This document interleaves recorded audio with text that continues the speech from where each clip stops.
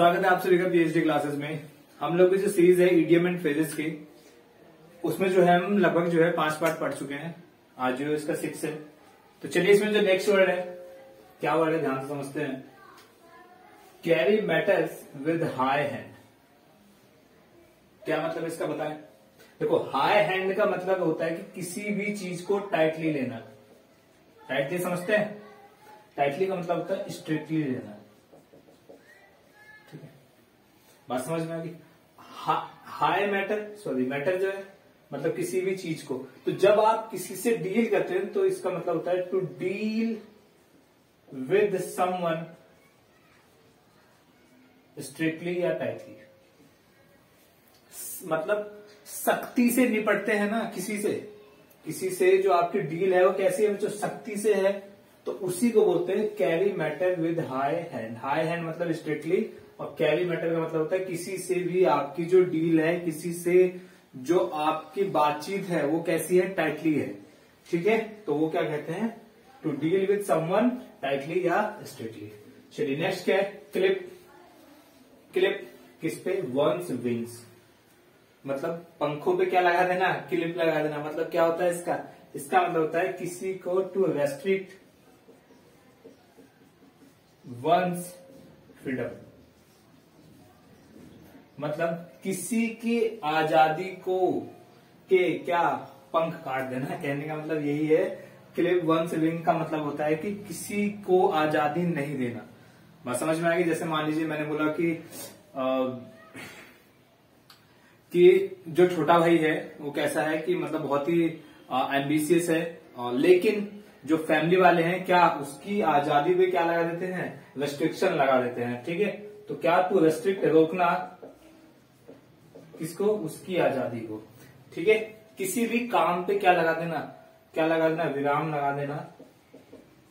क्या होता है? क्लिप वंस वे उम्मीद बात समझ में आ गई। Carry matter with high hand मतलब डील विद समवन कैसे?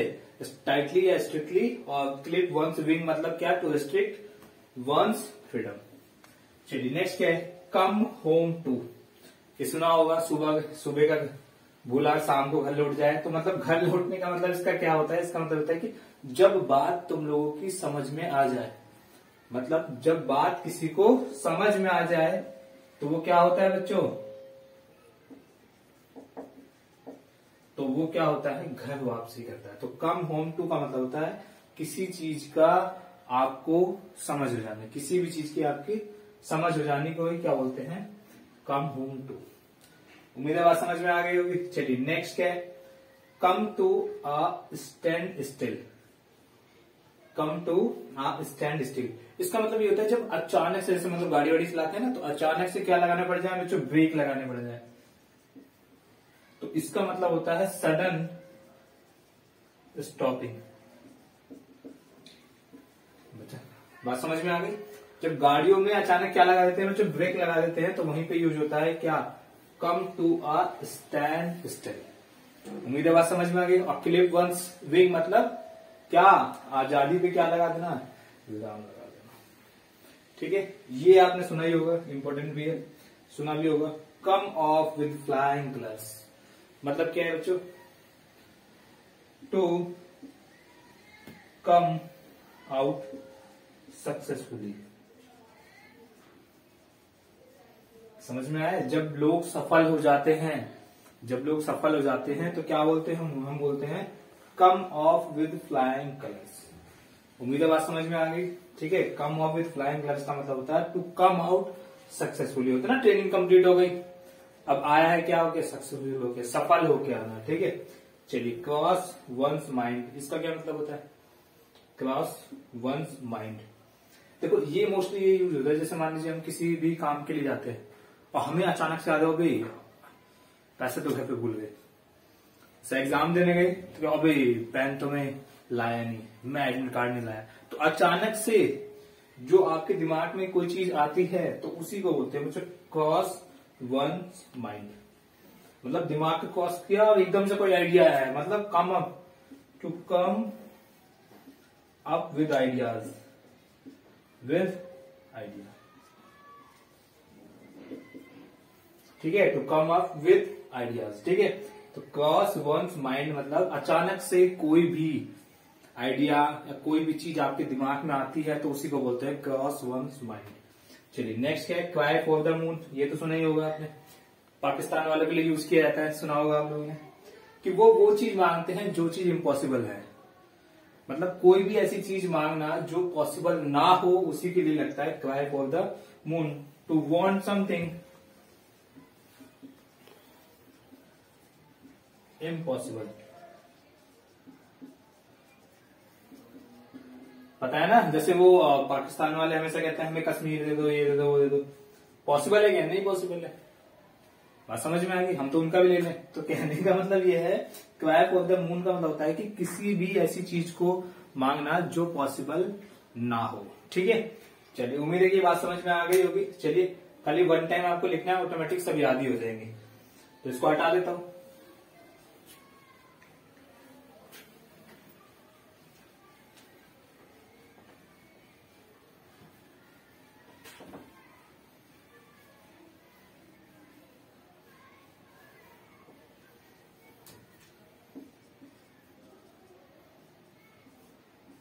चलिए नेक्स्ट बताएँ बच्चों। करी फेवर विद इसका मतलब क्या होता है? इसका मतलब तो सीधा सीधा यही है। आपने सुना भी होगा फेवर विद मतलब टू सपोर्ट समबडी किसी की सहायता करना किसी भी काम में। किसी की सहायता करना फेवर विद से ही समझ में आ जाएगा क्या? टू सपोर्ट समबडी ठीक है? तो करी फेवर विद का मतलब होता है किसी की भी सहायता करना। ठीक है? ये क्या है बच्चों? Call a spade a spade spade spade का मतलब क्या होता है? स्पीड होता है ना? क्या बोलते हैं? फावड़ा वाड़ा होता है जो जिससे खेत में काम होता है। तो कॉल आ स्पीड स्पीड का मतलब होता है कि ये मोस्टली यही तब यूज़ होता है कि जब आ, कुछ लोग होते हैं ना फ्रेंकली बातचीत के आदि होते हैं कि हमेशा फ्रेंकली बोलते हैं तो ये वहीं पे यूज़ होता है। टू स्पीक प्लेनली या फ्रेंकली बात समझ में कि मैंने तो उन्हें फ्रेंकली कह दिया सैलरी बढ़ा दो ठीक है? तो वही क्या है कॉला स्पीड आ स्पीड होता है ना फ्रेंकली किसी को गाली देना, नहीं यार, तू तो बहुत, ठीक है? तो बात समझ में आ गई तो कॉला स्पीड स्पीड का मतलब है जब आप फ्रेंकली किसी से कोई चीज़ बोलते हैं तो उसी के लिए यूज़ होता है to speak frankly call a spade a spade ठीक है? चलिए, ये तो सुना होगा आप लोगों ने।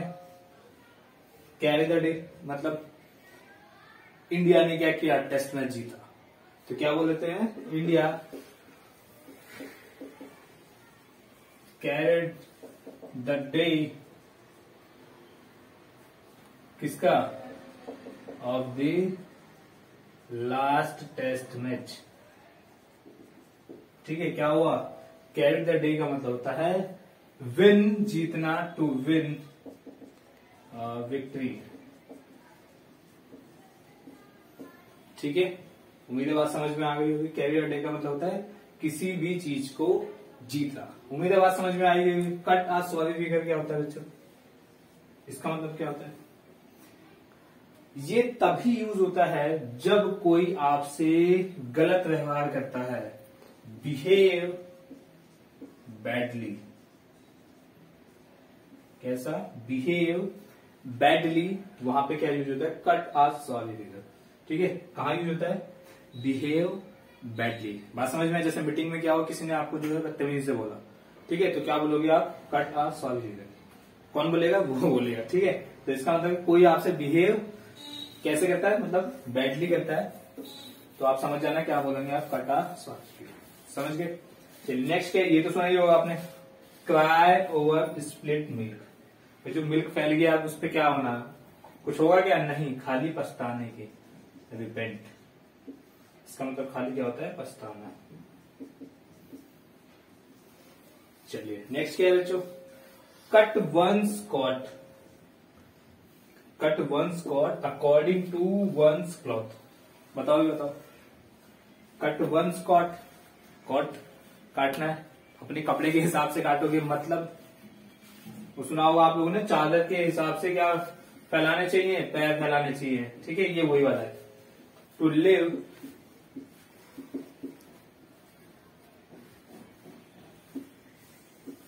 once with one's mean ठीक है? तो कहने का मतलब होता है कि अपनी बजट के हिसाब से जीना, अपने बजट के हिसाब से जीना, या आप इसे कह सकते हैं कि मतलब जितने ही पैसे हों, उस हिसाब से खर्चा करना चाहिए। तो ऐसी जगह पे बच्चों, ये होता है you cut one's cut according to one's cloth ठीक है? इसका मतलब ये होता है कि अपनी चादर के हिसाब से क्या फैलाना चाहिए? अब लोग कहेंगे, नहीं जी, हम तो चादर बढ़ा बढ़ा देंगे।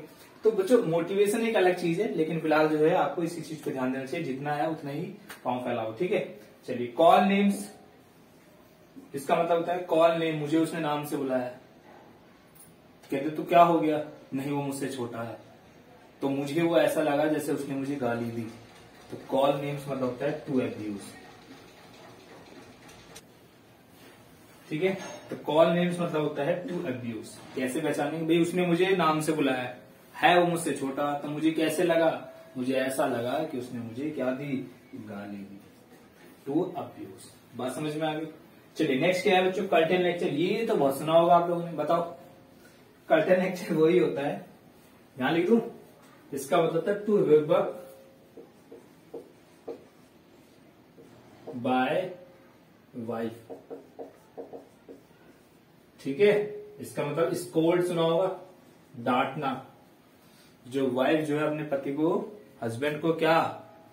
डांटती है तो उसी को बोलते हैं बच्चों कर्टन लेक्चर देते मोस्टली जो है वहीं पे यूज़ होता है जब वाइफ जो है कि अपने हस्बैंड को डांटती तुम कहा थे इतना टाइम हो गया ये है वो है पप्पू के पापा तो, तो वो सब चीज़ें जो है वहाँ पे क्या यूज़ होता है बच्चों?